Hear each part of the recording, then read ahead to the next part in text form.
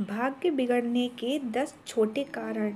Number एक, किसी दूसरे का झूठा भोजन करना। नंबर टू, घर के मुख्य द्वार पर जूता चप्पल फैलाकर रखना।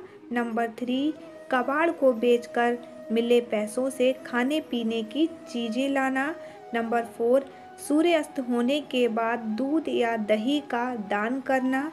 नंबर फाइव, दूसरों से उधार ली हुई वस्तु को वापस ना करना। नंबर सिक्स, मंदिर से लौटते वक्त घंटी बजाना। नंबर सेवन, मंदिर के पट होने के बाद घंटी बजाना।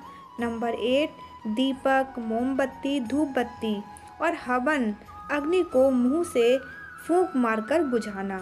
नंबर नाइन, बिना साफ़ किए दीपक को जलाना। नंबर टेन, पूजा रूम के अलावा घर में जहाँ तहाँ देवी देवताओं के चित्र लगाना। दोस्तों, वीडियो अच्छी लगी हो तो हमारे चैनल को लाइक और सब्सक्राइब ज़रूर करें। धन्यवाद। आपका दिन शुभ हो।